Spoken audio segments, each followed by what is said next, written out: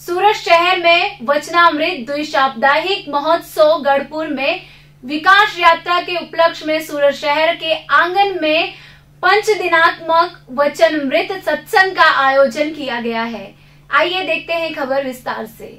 सूरत शहर में वचनमृत द्विशाब्दिक महोत्सव तथा गढ़पुर के विकास यात्रा के उपलक्ष्य में सूरत शहर के आँगन में पंच दिनात्मक वचनमृत सत्संग का आयोजन किया गया है। श्री स्वामीनारायण मंदिर गढ़पुर धाम द्वारा सत्संग को आयोजित किया गया है। सत्संग का शुभारंभ तारीख 18 मई से 22 मई तक आयोजित किया गया है। सत्संग का समय रात के साढ़े आठ बजे से साढ़े ग्यारह बजे तक शुरू रहेगा। इस सत्संग में हर दिन अलग अलग स्वामी द्वारा कथा का वांचन किया जाएगा। कथा का लाइव प्रसारण भी किया जाएगा। कथा काशीबा फार्म हाउस के पास लक्ष्मीकांत आश्रम रोड, हाथी मंदिर के पास कृष्णा रेसिडेंसी के बगल में आयोजित किया गया है।